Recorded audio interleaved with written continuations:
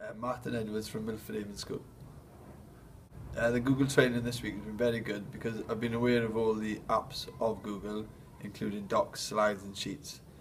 I've used them, but it's just better to get more detail on them so we can use the actual app to good effect from using it and then looking at uh, YouTube, looking at um, other aspects of Google is helping just to understand how to use it and how to link it all together so you use it to good effect.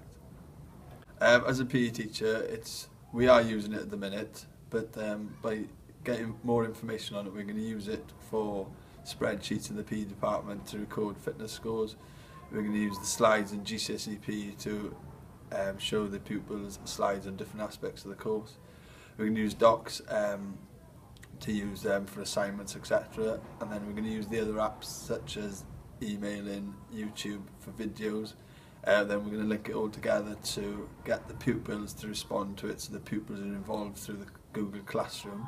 So we can link it all up to that specific class and then they can um, edit work, we can show the slides after the, after the um, lesson. They can go into the lesson and um, revise from it, they can share it with us, they can email us their thoughts, we can email them homework, we can email them revision test so we can link it all to the GCSE course. Once it's all set up, it'll be used to good effect within our department.